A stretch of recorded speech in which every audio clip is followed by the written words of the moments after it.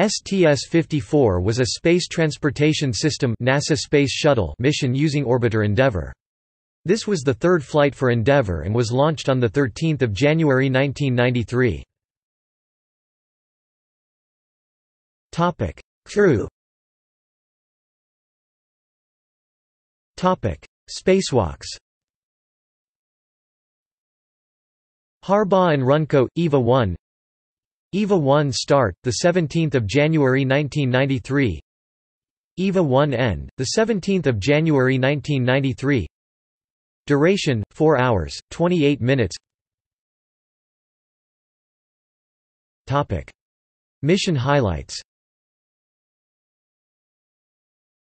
The primary payload was the Fifth Tracking and Data Relay Satellite which was deployed on day one of the mission. It was later successfully transferred to its proper orbit by the inertial upper stage booster. Also carried into orbit in the payload bay was a hitchhiker experiment called the Diffuse X-ray Spectrometer This instrument collected data on X-ray radiation from diffuse sources in deep space.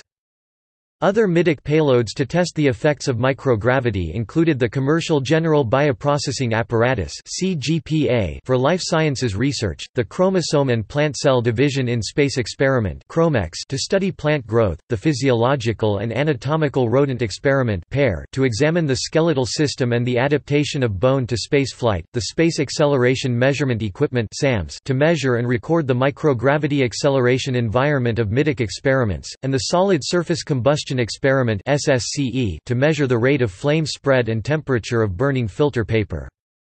Also, on day 5, mission specialists Mario Runco and Gregory J. Harbaugh spent nearly five hours in the open cargo bay performing a series of spacewalking tasks designed to increase NASA's knowledge of working in space.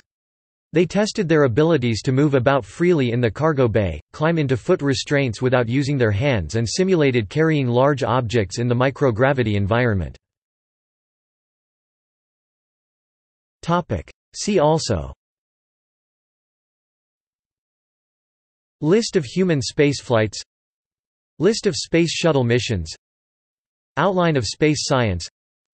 Space Shuttle. Topic. External links. NASA Mission Summary.